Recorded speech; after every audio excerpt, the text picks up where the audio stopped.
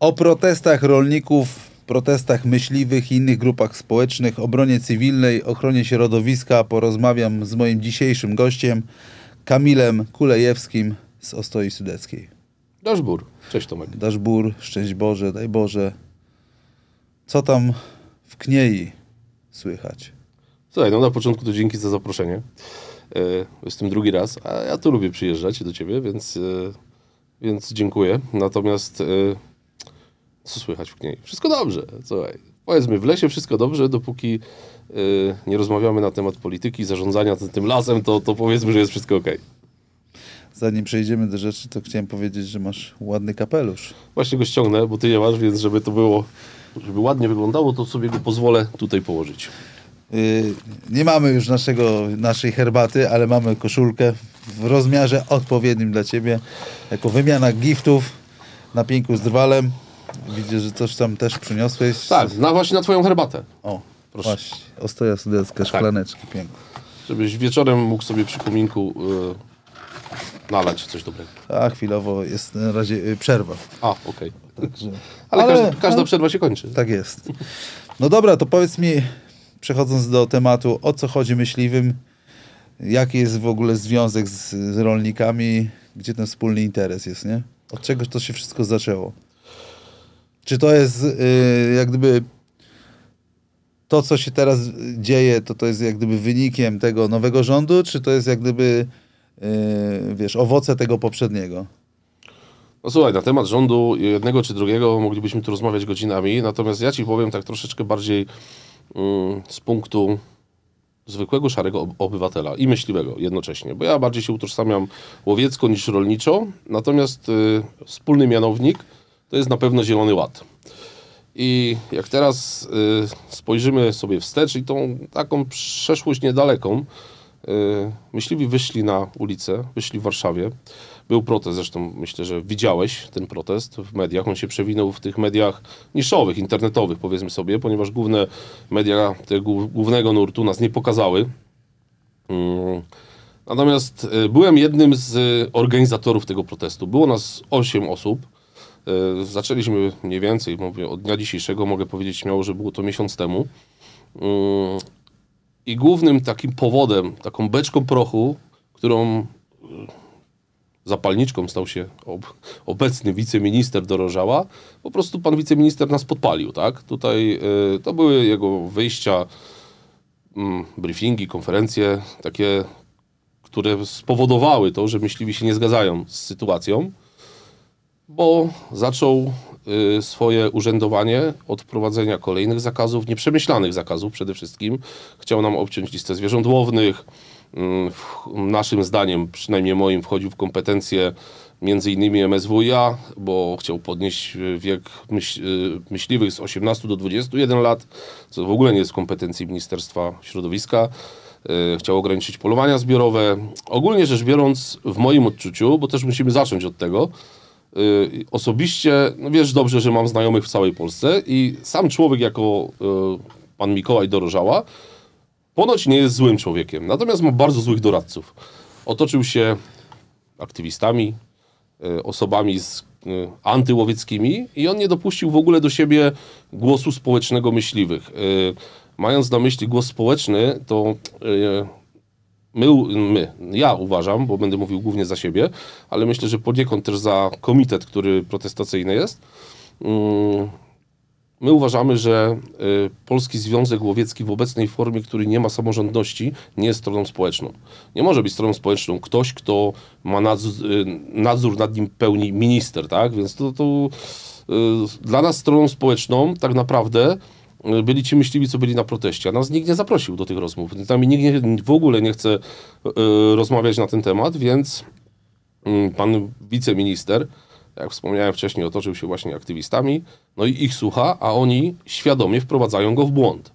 Więc yy, wiesz, to tak możemy porównywać to do bardzo zbliżonej branży, jaką jest leśnictwo. No sam dobrze miałeś tutaj znakomitych gości, tak? Pana Jana Mazura. I nawiązując do jego wypowiedzi u ciebie w studiu, yy, wiesz dobrze, że leśnicy sadzą las, leśnicy o ten las dbają. Yy, no to dlaczego, jeżeli robią to ponad 100 lat i widać, że robią to dobrze, bo lesistość w tym kraju wzrasta, dlaczego im się tego zabrania? Więc tutaj tak samo jest z, z myśliwymi. Ja ostatnio wrzuciłem na swoją e, stronę na Facebooku e, takie dwa screeny. Słuchaj, e, każdy będzie mógł sobie odnaleźć i zobaczyć. One przedstawiają dane z GUS-u dotyczące ilości zwierzyny w obwodach łowieckich i w parkach narodowych. I wyobraź sobie, że w parkach narodowych ta ilość zwierzyny spada z roku na rok. I dotyczy to łosi, na które się nie poluje, tak? O, ogólnie od prawie 20 lat, czy ponad 20. Już teraz nie pamiętam dokładnie, w którym roku było moratorium wprowadzone, ale ilość jeleni, ilość w parkach narodowych zwierzyny spada, a na obwodach rośnie z roku na rok. I dla nas to nie ma jakiegoś racjonalnego wytłumaczenia, dlaczego tak jest. Zielony Ład zakłada takie Y, ogólnie Zielony Ład, jak dobrze wiesz, to jest y, masa informacji, potężny dokument, ale jednym z założeń jest to, że 30% naszego kraju ma być objęte ochroną, a 10% ochroną ścisłą. No, jeżeli my sobie obejmiemy 10% naszego kraju ochroną ścisłą, no to te populacje zwierzyny nie tylko łownej, no co pokazują czy, no, czyste dane z GUS-u, tak? Zacznie spadać. No chyba nie o to w tym chodzi. Wiesz, ekolodzy zawsze mogą powiedzieć, że to są zakłamane dane. A co oni mogą innego powiedzieć, jeżeli organizacje typu Polski Związek Łowiecki, Lasy Państwowe, to są organizacje, które prowadzą rzetelne badania. Nam, y, jako myśliwym, merytoryki nie brakowało nigdy. My mamy tuzy naukowe w naszych szeregach, tak? Profesor Henryk Okarma tutaj z, z Małopolski, Gwiazdowicz, Wanda Olech, tak? Możemy sobie porozmawiać na temat wilków. Y, Ja nie mam takiej wiedzy jak oni, ale ja śledzę wypowiedzi ich, śledzę publikacje, czy na temat żubrów. My merytorycznie to my się nie mamy czego bać, tak? Tylko, że tutaj chodzi o, o zakłamanie, o przekazanie prawdziwych informacji, tak? Weź, weźmy bardzo prosty przykład żubra. Mm, Żubra ula, uratowali myśliwi, nie ekolodzy. I dzisiaj mamy z tym żubrem kolosalny problem. Tomek, to co się dzieje w tej chwili na Podlasiu, w Bieszczadach, y, w Puszczy Białowieskiej, to y, ludzie już nie chcą tych żubrów, tak? Ich było na początek 100, 200, w tej chwili jest w granicach 400, 500. No to trzeba co zrobić? Relokować je. I teraz y, Ale tam pro- słyszałem, że też jest problem z tym, y, gen się zagęścił. Tak, nie? tak. Że jest choroby, że, Tak. że może nie być tego żubra też za jakiś czas. Oczywiście, jeżeli y, żubr ma, one chorują między innymi, tam mają problemy z oczami, Tak. y, one sobie dokonują samoamputacji, y, no więc co trzeba zrobić? No to też nie można z, jakby z odległości 100, 200, 300 metrów ocenić, czy ten żubr jest chory, czy nie, tak? Ale y, jeszcze nie tak dawno były prowadzone polowania komercyjne na żubry i one były płatne, tak? Tylko, że te pieniądze nie trafiały do, jak to jest w przypadku eko, na ich prywatne konta, tylko były przeznaczane w znacznej mierze na opiekę weterynaryjną, tak? Więc lepiej było w odczuciu każdego normalnego człowieka sprzedać tego żubra, żeby ktoś mógł przyjechać tego żubra strzelić, zapłacić za, te, za to no niemałe pieniądze, ponieważ ja, ja teraz nie chcę mówić o kwotach, bo ich po prostu nie znam dokładnie, ale to było liczone w dziesiątkach tysięcy i te pieniądze szły na ochronę reszty stada. A tutaj w tej chwili żubrów przybywa, trzeba je re relokować. Już słyszałem o relokacji w okolice y, albo Pomorza, albo Pomorza Zachodniego, natomiast opór społeczny jest taki, że nikt tych żubrów nie chce. Bo rolnicy sobie zdają sprawę, że jeżeli ktoś im przywiezie nagle tutaj 30 żubrów, no to one nie będą cały czas w lesie siedzieć, tak? Wyjdą w rzepak, w pszenicę, w buraki. To, to, jest, to jest naprawdę duży problem. No to gdzie są właśnie w takich chwilach ekolodzy i kim są w ogóle ekolodzy? I co oni robią, oprócz tego, że robią tak zwaną gównoburzę w internecie? Nie wiem, dla mnie to są organizacje liczące po kilka osób. Tak szumnie mówią, że nasza organizacja, mówię tutaj o tej organizacji Niech Żyją, zrzesza 70 innych organizacji. Kiedyś z czystej ciekawości wszedłem zobaczyć, jakie to są liczne te organizacje. Jedna już nie pamiętam, bo ja, ja nie mam nerwów, żeby to czytać. Rozumiesz, jak ja zaczynam to czytać, to po prostu po pięciu minutach czytania po prostu zamykam i nie czytam dalej. Natomiast tam jedna organizacja jest, która liczy aż pięciu członków, nie? To wiesz, to sobie możesz... Mocarze. Mocarze, tak? No ale szumnie to brzmi, że my zrzeszamy 70 organizacji, to licząc średnio, nawet niech jest po 10, no to 70 razy 10 daje 700 osób, tak? Y, W Polskim Związku Łowieckim jest 130 tysięcy yy, myśliwych. Mamy jakby kompatybilną branżą jest, jest leśnictwo, tak?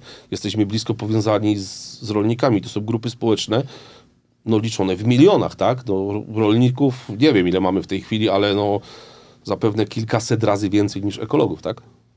A gdzie oni są w tej chwili? Nie wiem. Ich nigdy nie było. No to właśnie co takiego jest, nie? Że jak gdyby, widzisz, tak w przypadku już mówimy o Europie, Zielonego Ładu czy innych tych rzeczy, że podobnie żyć w Polsce, nie? Że tworzy się jakieś propozycje, czy nawet się już je wdraża, jakieś ustawy, czy zapisy, zmiany i tak dalej, bez żadnej konsultacji takiej właśnie społecznej z daną grupą, nie? O co chodzi w ogóle? Wiesz Czy znowu, czy znowu na tym jest, wiesz, już będę haczył o teorii spiskowej, jakieś lobby, że komuś zależy Tak. na tym, żeby to wyłączyć, że tam coś w tej ziemi jest, albo nie wiem. I to wszyscy patrzą y, w Polsce przynajmniej, że zmiany będą się dokonywać na przełomie tam roku, dwóch po zmianie rządów i tak dalej, nie? Natomiast jak ja czytam książki jakieś tam różne, nie? To czy to jest Rosja, czy to jest Francja, czy to jest USA, to te zmiany, które oni tam tworzą, to jest przynajmniej 20 lat, nie? Że to, co dzisiaj zaczynają wdrożyć, to oni będą czekać na efekty przynajmniej 20 lat. To jest takie minimum. Tak, bo to są kraje pragmatyczne, to co powiedziałeś przed chwilą. Oni y, zakładają strategię na kilkanaście, jak nie kilkadziesiąt lat. Pokolenie przynajmniej. Dokładnie, dokładnie tak. My żyjemy jakby w takiej bańce, teraz my, tak? Nie powiem tego słowa, jak to tam powinno być, bo to nie o to chodzi. Natomiast co po nas, to spalona ziemia, tak? I to jest takie, takie działanie. Natomiast... Y, to, co powiedziałeś, tak, że my, y, my jako myśliwi, my jesteśmy przygotowani do sytuacji na godzinę W, którą, o której się teraz tak bardzo mocno mówi. Uważam, że bardzo dobrze, tak, bo ja y, potrafię pójść do lasu, potrafię zapewnić jakby bezpieczeństwo żywnościowe swojej rodziny, y, bo ono nie polega tylko na tym, że ja pójdę do lasu i strzelę sarnę czy dzika, tak, tylko ja potrafię tą tuszę sprawić, czyli powiedzmy na miejscu w lesie wypatroszyć, dostarczyć ją do siebie, do domu. Potrafię ją obielić sam, czyli oskurować. Potrafię ją poporcjować. Potrafię mm, wytrybować mięso, zrobić z tego wyroby, więc ja z tym nie mam problemu.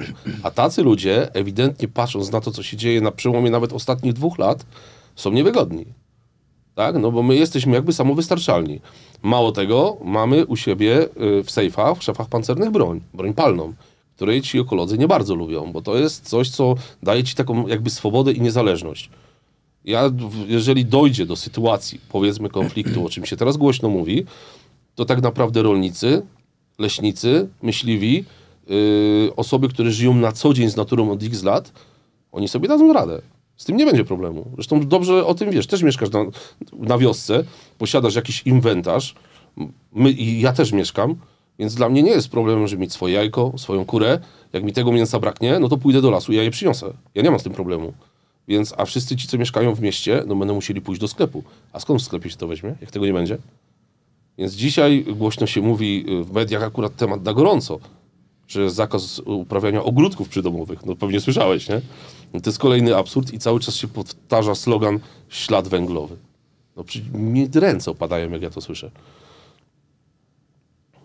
Byłem ostatnio w Paryżu i co mnie też za, wiesz, zainteresowało, to to, że jak idziesz y, po Paryżu, czyli też byłem w Barcelonie y, dwa tygodnie wcześniej, nie? Bo taki, taki jakiś miałem wyjazdowy weekendy, to y, zauważyłem coś, czego u nas nie ma, że nawet jak jest to duże miasto i są dzielnice, to na każdym, gdzieś tam w każdej dzielnicy, czy w każdej jakiejś tam przestrzeni jest warzywniak, nie? Taki jak gdyby, wiesz, niezależny swój i sklep mięsny, nie?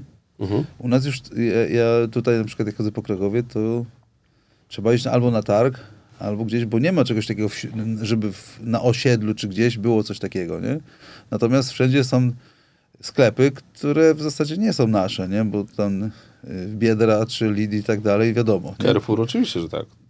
No, to jest takie chyba naturalne wygaszanie tego, bo dzisiaj... Ale wiesz, mnie to przeraża ten brak świadomości tego, y, tych ludzi w mieście z tego względu i dlatego to jak gdyby moim zdaniem tak jest, że ci politycy ulegają tej presji, bo tych ludzi w miastach jest więcej.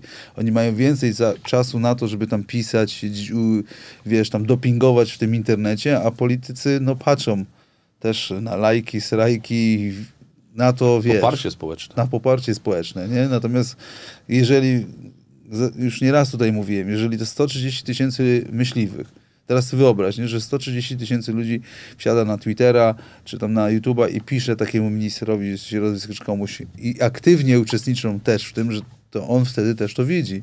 A tak to ich nie słychać. Trzeba doprowadzić do takiego momentu, żeby wszyscy wyszli na ulicę, nie? Zblokowali drogi i tak dalej. Tak samo jest w przypadku rolników. Ja nie mam pretensji do myśliwych i do rolników, y, no bo wszyscy mają pracę i muszą zamiast, wiesz, siedzieć w, na, na komórce i tak, no muszą pracować, nie? Tak. Czy tam działać, no ale chyba trzeba też już iść w tą stronę, nie? No tak, no bo teraz... Żeby e, tam usiąść na chwilę na tej komóreczce i się tam uaktywnić. Ja myślę, że tak, no dlatego właśnie ten sukces y, NGO-sów, sukces aktywistów polega na właśnie social mediach, tak? I na ogólnie y, na tak zwanym clickbaicie, tak? No bo wszystkie media te głównego nurtu y, to bardzo prosty przykład jest. Mamy to, co powiedziałem wcześniej, wielu myśliwych, którzy uratowali mm, choćby sokoła wędrownego, to nie zrobiły fundacje ekologiczne, tylko zrobili myśliwi. Wilka, żubra, bobra. Mm, o tym nie usłyszysz w telewizji. Nie ma. Ale jeżeli dojdzie do wypadku y, jakiegokolwiek na polowaniu, y, no to już wszystkie media, jakie są, to będą o tym pisać, bo to jest clickbait i to się, to się klika.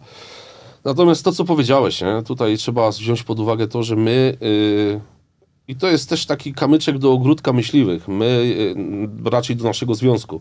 Y, My pewien czas przespaliśmy jako związek. Nie byliśmy aktywni w internecie przede wszystkim, bo jeszcze kilka lat temu, nie wiem, 7-8 lat temu, y, jak już social media zaczęły hulać w Polsce, Facebook, Instagram, Polskiego Związku Łowieckiego tam nie było, myśliwych polskich tam nie było. My żyliśmy w takiej bańce, mieliśmy tylko dwa media tak naprawdę. I rzeczników prasowych. Tak jest, dokładnie. I mieliśmy stronę jest- internetową, która, wiesz, hulała tak jak hulała. Tam były informacje przekazywane tylko takie, które chcieli nam przekazać i była gazeta Łowiec Polski. I to było wszystko. Natomiast to był czas, kiedy trzeba było działać naprawdę w internecie mocno, yy, stawać się coraz mocniejszym i fajnym przykładem jest twój kanał, bo ile twój kanał już ma? Ten Nie wiem, dwa lata, Dwa trzy? lata. No około, myślę, że około trzech lat, tak? I w tej chwili generujesz potężne zasięgi, ale zajęło ci to 2-3 lata pracy.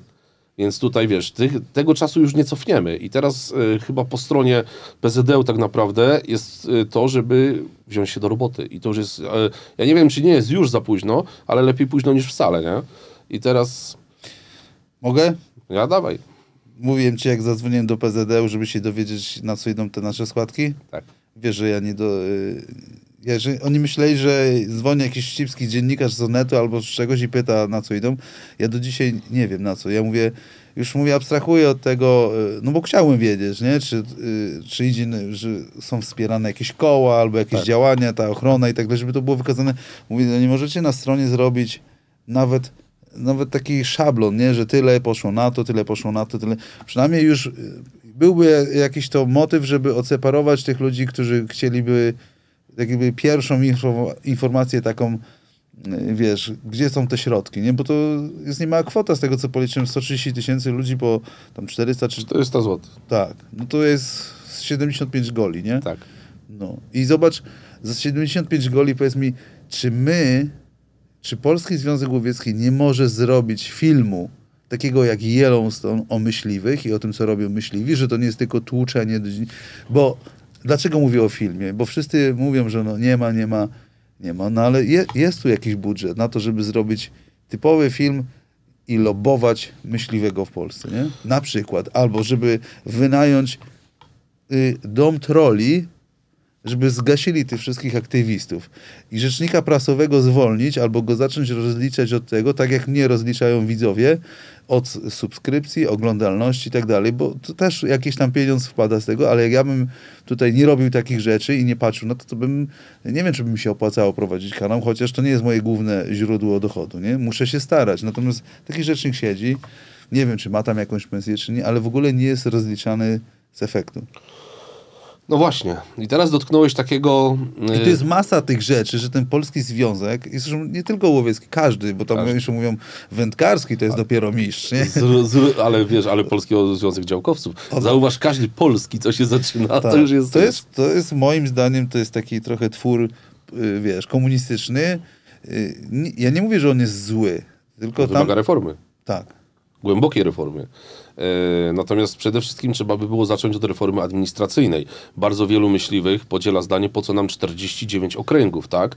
Jeżeli mamy podział administracyjny kraju na 16 województw w tej chwili, być może by starczyło 16 okręgów. No, temat jest do dyskusji. Ja się też na tym nie znam, nie będę tutaj się wypowiadał. E, Natomiast powiem Ci, że e, no, brakuje tego takiego... mm, zrobienia takiego researchu, tak? I zobaczenia, na co te pieniądze tak naprawdę idą i gdzie można y, zaoszczędzić i wydać. Bo to, co powiedziałeś, uruchomić farmę troli, y, ja to przekładam troszeczkę bardziej na wynajęcie poważnej agencji PR-owej, która nam No zbuduje ale stary, wizerunek. po co nam agencja PR-owa? Tu wystarczy za te pieniądze jakoś zmotywować te 130 tysięcy ludzi, którzy tam są. To nie trzeba farmy troli, bo ja też nie jestem na tym, żeby ktoś tam y, trollował i lobował i tak dalej. Niech y, tak się tworzy te oddolne inicjatywy, bo jak ty mówisz, że na proteście tam y, czynnych uczestników y, jest 20 tysięcy, to gdzie jest to 110 tysięcy? Nie wiem. No, No, i nikt ich nie zmobilizował, bo może być może jak ktoś do nich dotarłby z treściami, takimi, że warto tam pójść, warto się pokazać i warto zaprotestować, bo nie wiadomo, co będzie za 10-15 lat, no to może by się obudzili. Być może, być może tak. Natomiast pamiętaj, że protest był oddolny. Protest nie był organizowany przez y, mm, związek. No właśnie dlaczego? No- Dlaczego PZL nie, w- nie, nie weźmie w obronę właśnie, wiesz, tych ludzi oddolnie, którzy tam działają? Bardzo dobre pytanie. Yy, mamy jakby dwa organy. Jeden jest jakby pod nadzorem i powoływany przez ministra i to jest zarząd główny. No i tutaj poniekąd będę bronił łowczego krajowego, bo rozumiem, że jest jakby pod nadzorem, tak? Więc on teoretycznie no nie mógłby wyjść yy, z różnych względów. Jest troszeczkę, jest, yy, zarząd główny jest teraz polityczny, szczególnie łowczy krajowy, więc on nie mógłby na te, po tym proteście się pokazać. Ale jest drugie ciało, które jest wybierane społecznie, czyli Naczelna Rada Łowiecka. I ona jest wybierana spośród nas. Z każdego okręgu jest wybierany delegat. Który, I w sumie y, ci delegaci z każdego okręgu tworzą Naczelną Radę. I ja mam pytanie, dlaczego tam Naczelnej Rady nie było? Nie wiem. To są społecznicy. To są osoby, które nie dostają pensji za bycie w Naczelnej Radzie Łowieckiej. Oni decydują o przyszłości związku. Oni tak naprawdę tworzą statut, tworzą prawo. Ale oni są społecznikami. I nikogo z Naczelnej Rady na scenie naszej nie było. Więc wiesz, oni, nie ukrywam, że członkowie niektórzy Naczelnej Rady na proteście byli jako myśliwi. Widziałem ich ze sceny, nie będę tu wymieniał, ale kilku widziałem i znam tych ludzi i byli. Ale zdecydowana część, 70% nawet na protest nie przyjechało. Yy, żadna tajemnica, z, mamy prezesem Naczelnej Rady w tej chwili jest Marcin Możdżonek, tak? Olimpijczyk, no sportowo osiągnął w siatkówce chyba wszystko, co było do osiągnięcia. Y, Osoba rozpoznawalna, znana, choćby nawet ze względu na swój wzrost. Jakby stanął na scenie człowiek, który ma 2,14 wz- wzrostu, rzuca, rzucałby się w oczy i uważam, że byłoby to też taki bodziec dla mediów, żeby nas pokazały, tak? No bo Marcin z racji tego, że jest myśliwym, jest prezesem Naczelnej Rady, y, jest też wybitnym sportowcem, jest rozpoznawalny. Natomiast no też nie było, tak? No ale właśnie ja mam takie pytanie, nie? Czy to, że Marcin, bo ja nawet nie śledziłem, nie wiem dokładnie kto to jest, czy to go jak gdyby, y, y, czy on ma papiery na to, żeby być tym, kim jest? I czy jako myśliwy on pokazał właśnie w sieci, czy on jest dobrym myśliwym, czy on tam jest, czy jest po prostu tylko takim myśliwym, wiesz, od czasu do czasu, bo mi się wydaje, że na takie stanowiska, to tak jak w wojsku generał, nie? To, to musisz mieć jakąś taką ścieżkę kariery, żeby na tej robocie się znać, nie? I teraz widzisz, jest y, moment kluczowy, nie? Gdzie jest potrzebny ten dowódca i go nie ma. no właśnie, i teraz tak, jako I, i który myśliwy, powie, chodźcie za mną, chodźcie ze mną. wiesz, yy, najpierw na temat Marcina coś powiem, bo znam się z nim prywatnie, polowaliśmy razem i jako myśliwy muszę powiedzieć, że tutaj szacunek zna się na polowaniu. Tutaj nie ma nawet co dywagować. Poluje, nie chcę teraz mówić dokładnie, ale myślę, że około 10 lat. Yy, poluje w kole na Mazurach, z Olsztyna jest. Natomiast y, jako myśliwy jak najbardziej tak. Natomiast y, to, co powiedziałeś, no brakło tego generała, brakło tego lidera, bo nam, komitetowi, który organizował ten protest, byłoby zdecydowanie łatwiej, jeżeli by w mediach pojawiła się informacja od prezydium Naczelnej Rady, tam się składa ono z pięciu wiceprezesów i jeden jest właśnie prezesem, czyli Marcin, i powiedzieliby głośno, słuchajcie, wspieramy ten protest, jesteśmy z wami, przyjdźcie, my, je, my będziemy z wami na scenie. Nie było takiego y, komunikatu i wiele, mm, wielu myśliwych potrzebowało takiego dopingu, tak, żeby zobaczyli, że ta góra wierchuszka jest z nimi. Natomiast y, no, tego nie było. No to ja to musiałbyś tu zaprosić kogoś z prezydium, żeby ci opowiedział, dlaczego tak, y, tak jest, no bo ja nie będę się wypowiadał po prostu za nich, tak?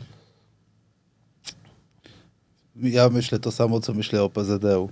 Po tym, jak tam zadzwoniłem i w ogóle jak ten proces prze, przełączania mnie i w ogóle dochodzenia, to jest tak chyba, że oni też są jakoś gdzieś tam zależni od kogoś. Dlatego nie mają jaj, e, wiesz, żeby wyjść z tymi ludźmi oddolnie. Zawsze byli zależni. PZD był zawsze. W 2018 roku nastąpiła zmiana ustawy, gdzie zabrano nam możliwość zabierania dzieci na polowanie, czego poprzedniej władzy nigdy nie wybaczę. Nigdy. Po prostu dla mnie to jest. y, przekreślili y, nie tyle moje życie, co moich dzieci, bo one ze mną bardzo często chodzą do lasu, nie na polowania, ale oni, o, o, oni tym żyją. Ja się nauczyłem przez to y, szacunku do przyrody, natomiast tutaj jakieś, nie wiem, wewnętrzne lobby tamtej poprzedniej partii po prostu to przekreśliło, ale między innymi też zabrali samorządność, czyli to, że my jesteśmy organizacją, która się samofinansuje. My się samofinansujemy, a mamy nadawane władze odgórnie. Przecież to jest jakiś absurd. To jest absurd na skalę światową. I mało tego, pamiętaj, że obecna władza, jak dochodziła, była kampania wy- wyborcza, chcieli naprawiać błędy poprzedników. I było też tam podnoszone wielokrotnie, y, że samorządność do PZD wróci. A wychodzi pan wiceminister i mówi, że no to może nie do końca, y, nie ma tego na stole. No po co coś, co jest wygodne, możesz czymś sterować, sobie nagle to zabrać? No to, to, to jest naprawdę słabe, nie? I to my tego nie rozumiemy. Jako myśliwi naprawdę tego nie rozumiemy i Może czas stworzyć faktycznie taką federację i to po prostu przejąć, bo wiesz, rocznie jak dostajesz 75 goli, no to jest, jest, są środki na jakąś tam walkę, na działania. Wiesz, ja ci powiem tak.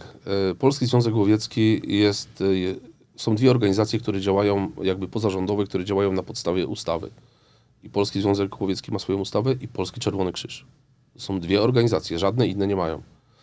E, Ja nie uważam, że Polski Związek Łowiecki jest zły, żeby go przejmować, tworzyć mu konkurencję. Nie, nie tędy droga. Tam trzeba zrobić, e, wrócić przede wszystkim do sam, samorządności i mm, uważam, że problem tkwi w rządzących. Jeżeli oni w dalszym ciągu będą słuchali, yy, bo to jest tak, może prawo na temat y, wojska, ustawę o obronie cywilnej, może zaczną pisać, y, nie wiem, lekarze. Tak? tak jak nam, myśliwym, prawo łowieckie ma, mają pisać NGOsy. No to to nie tędy droga. Mój kolega powiedział takie fajne stwierdzenie, ja je często cy- cytuję.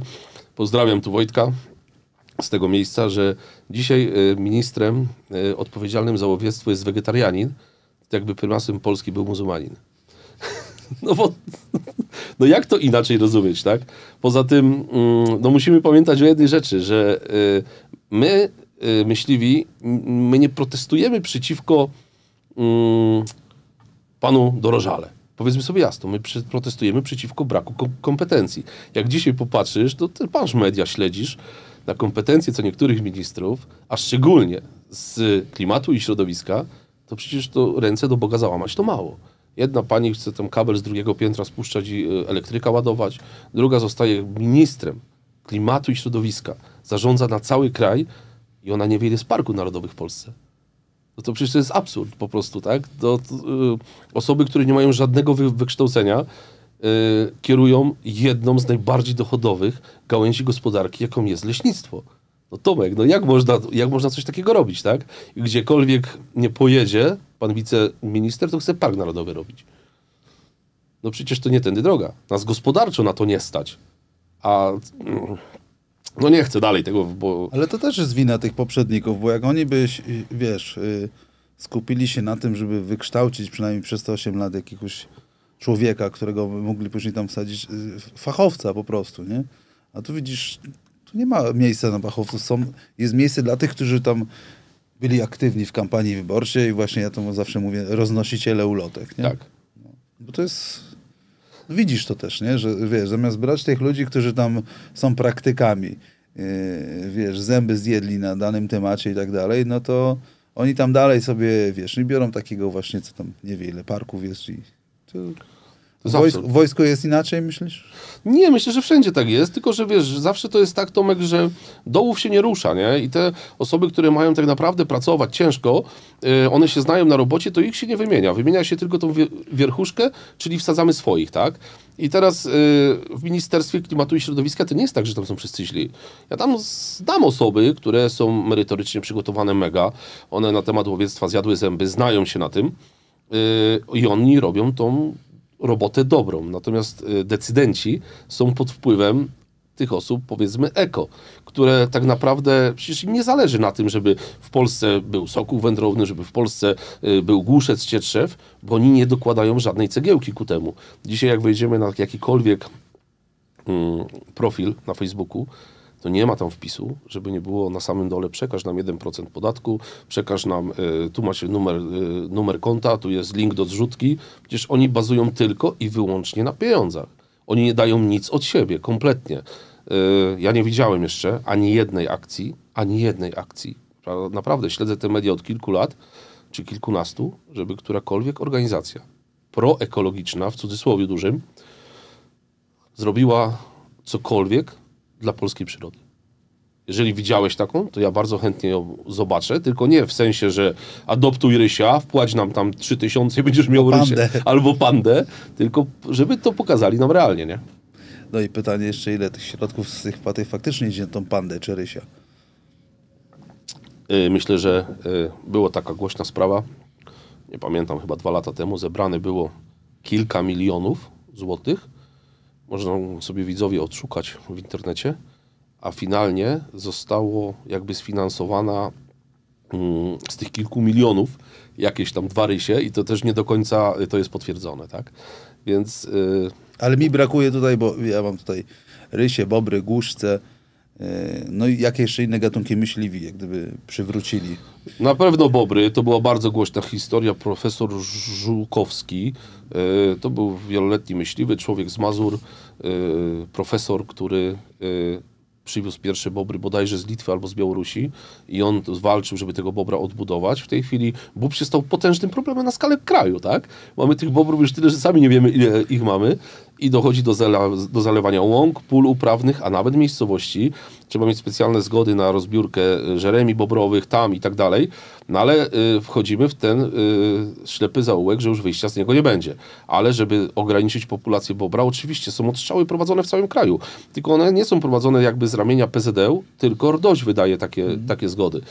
Natomiast y, no, trzeba sobie jasno powiedzieć, że jeżeli dojdzie do sytuacji powodziowej, y, wały zostaną poprzerywane na Wiśle, na Odrze, w zasadzie na każdej rzece, bo dzisiaj byle kałuża już są bobry, no to ktoś za to musi odpowiedzieć, tak?